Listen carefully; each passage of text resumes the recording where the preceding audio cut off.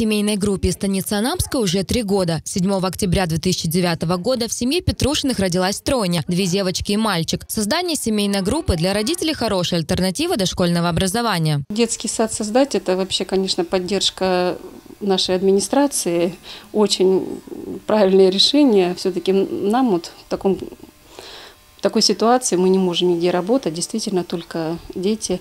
Но я скажу, что очень большая ответственность. Когда берешь на себя вот такую ответственность, именно этот детский сад, именно хочется, чтобы дети были развитые, воспитанные. Ну, сложновато было как бы первое время, но сейчас мы уже так как бы вливаемся. Мама Татьяна, наш же воспитатель в группе, человек творческий, любит готовить, шить, вязать, поэтому сама шьет детям разные костюмы. Дополнительно ребята ходят на занятия в музыкальную школу, и скоро всем им предстоит выбор музыкального инструмента. Для тройняшек дома в семейной группе есть все условия. Родители уверены, лучше, чем в детском саду, ведь мама всегда рядом. Галина, Валерия и Матвей очень любят рисовать и рассказывать стихотворения. Как тебя понять? Плачь, ты в мое оконто глянь.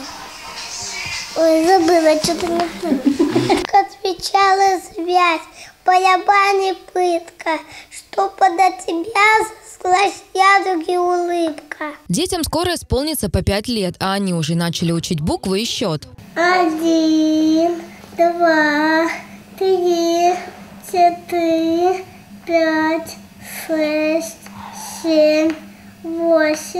девять 10. В Анапе организована 81 семейная группа детского сада. Такую группу можно открыть многодетным семьям, имеющим трое и более детей в возрасте от двух месяцев до семи лет. За свою работу воспитатель и, может быть, один из родителей и нянечка из числа родственников получает зарплату. Из городского бюджета выделяют денежные средства на питание из расчета тех норм, которые необходимы для дошкольника. 85 рублей в день на каждого ребенка. Продукты получают в детском саду на месяц. На данный момент в Анапе заявки подали еще 17 семей которые хотели бы организовать группу семейного воспитания. Группа формируется следующим образом. Сначала выходят сотрудники образовательного учреждения, смотрят условия, разговаривают с родителем. Дальше вместе с Роспотребнадзором смотрят санитарные нормы соответствия их для того, чтобы открыть здесь семейную группу.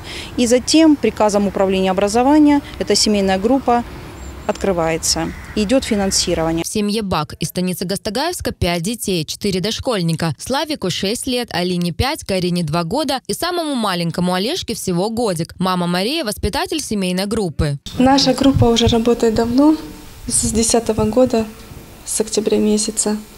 Вот.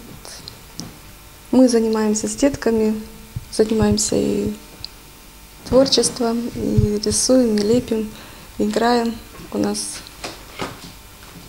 и физкультурные занятия, игровые. Дети любят рисовать, вырезать. У каждого ребенка своя личная папка с разными поделками. Из бумаги, листьев, ракушек и других интересных материалов. Что это? Это луна. Луна. А вот Из еще... пазлов. Из пазлов ты это делал? Из пазлов, это макароны. Для детей в доме созданы все условия. В игровой у ребят, как в настоящем детском саду. Игрушки и развивающие игры, поле для занятий и творчества. Скоро условия станут еще лучше. Семья переезжает в новый дом, где дети начнут готовиться к школе. Реки в воде, птички везде, бегут, цветы на лугу. Любит спаситель этих и тех, а нас детишек больше всех.